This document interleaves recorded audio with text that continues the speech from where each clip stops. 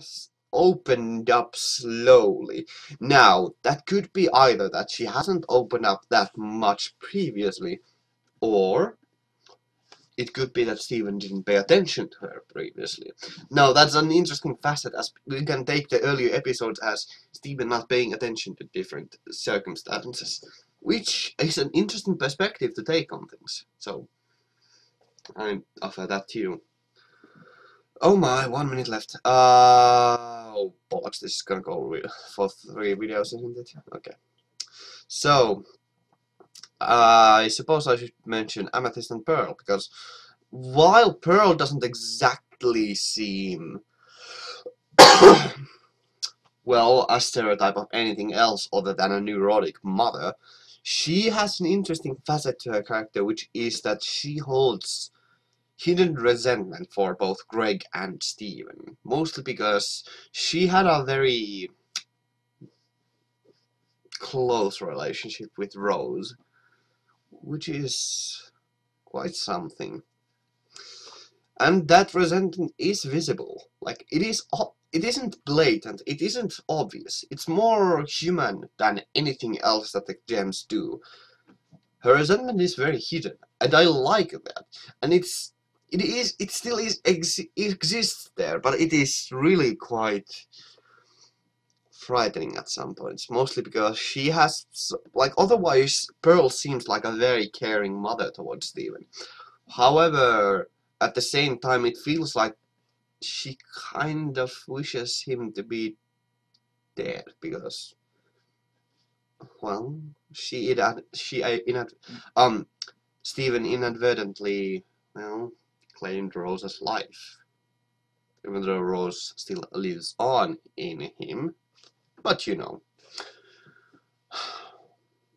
Then Amethyst, which is, against an interesting character, mostly in the way that she resembles a grown gem. She is very much like a parasite in the way that she was grown which is uh, like that feels really wrong to say but you know she that's true she was grown. And that plays an important facet to her character. And it was shown in various stages that like once we re more about their character every character's lines actually started making a lot more sense in so many ways. Mostly in the way that like Garnet's future vision gave us more information and Amethyst's the fact that Amethyst was grown as a, like a parasite gave more information and gave a little more detail to few sentences that they had uh, they had said, and also something about what Amethyst had said a few times, as well as her actions. Oh goodness gracious.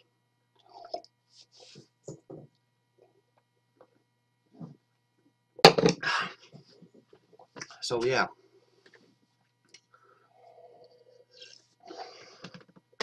Apologies.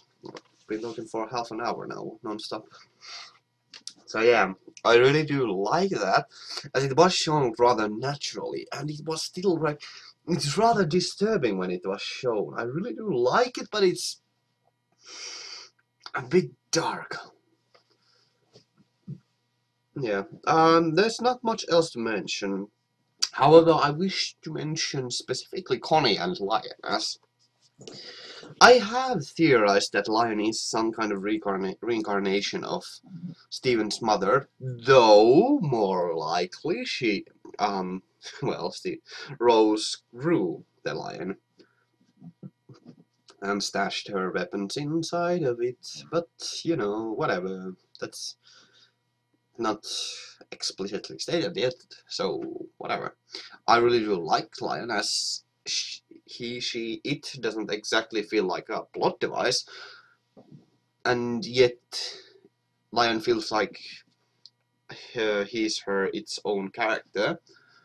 So there's not much else to be said about Lion, but I do like him, her, it. And then Connie, who I absolutely adore. Like every like um, Connie and Steven just they are they really play off of each other really well, and I absolutely love their like every episode with Connie is just like it's just an adrenaline shot to their brain. Like it's so adorable seeing them together. As it does represent a natural relationship, shall we say, while at the same time it actually is like really adorable in a cartoony way and it still is believable and it's not really all that like it it isn't exactly maybe romantic because they are still children shall we say so you know but it does have that more than friends vibe to it which is not most blatantly overplayed there but it's very obvious there. And it just makes it all the more adorable. So, yeah. Oh, well, before I leave you off, I will mention quickly how interesting the show's theming is. Mostly in the way that they do get a lot of mileage out of focusing on, well, some social issues and they do offhandedly mention them sometimes they don't even mention them. They are sometimes not even they are not even very apparent from the episodes. Yet at the same time the show does bring up a lot of interesting topics at least tangentially show. Um, they tangentially, tangentially, I don't know how to say that, whatever as a tangent, they do bring up some topics that are interesting, and they discuss them very in an interesting manner, and they show perspectives of them of the issue, of both sides of the issue, while not exactly being neutral, which is fine enough by me. I suppose um, the creators should actually sometimes enforce their own ideas because, well, we need to get a perspective, or we don't. But it's easier that way.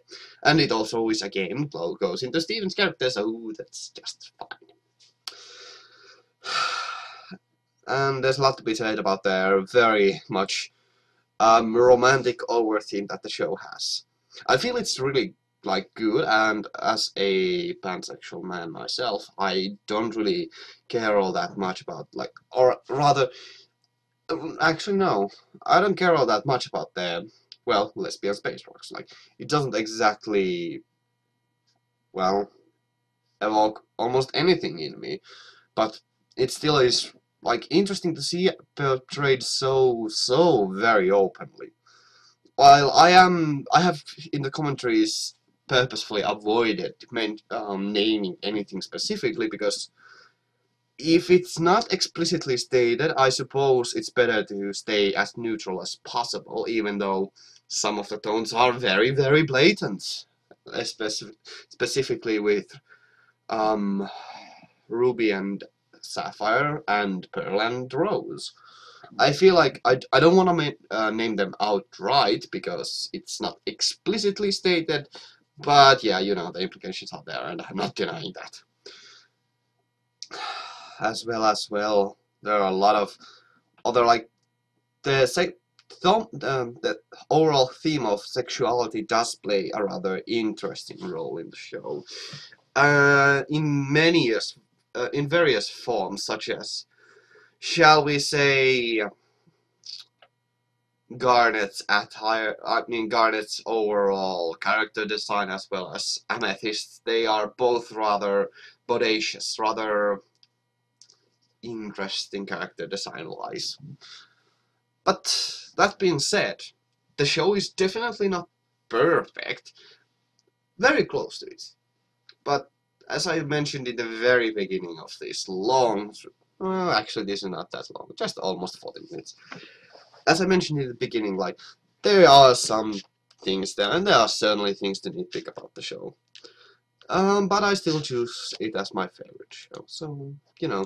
And everybody is entitled to their, their own opinion, so you know, take it as you will. um, but yeah, this has been my opinion about the first season of Steven Universe. So I'm gonna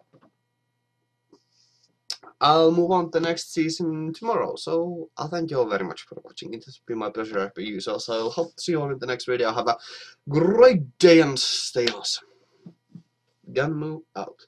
Thank you all so very much for watching.